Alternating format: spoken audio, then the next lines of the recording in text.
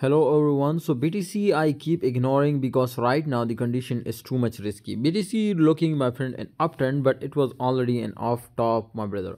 That's why too much risky my brothers to trade and BTC because my brother if this is already pumped so much hard so that's why if it will return definitely we will be face huge crash. But if it will rise up now definitely it was an uptrend totally. So that's why my brothers we will be expect a huge pump.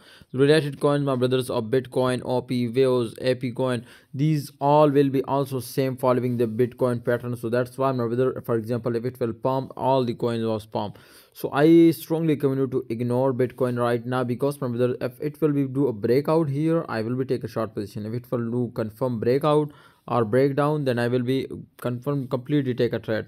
But right now it was completely stuck on this support my brothers this resistance line. So that's why i strongly recommend you to ignore the bitcoin and wait for my call on telegram. I give you every day 10 to 15 signals so what you why you want to trade in btc okay? So must join telegram group link is in the description. You will be print money like machine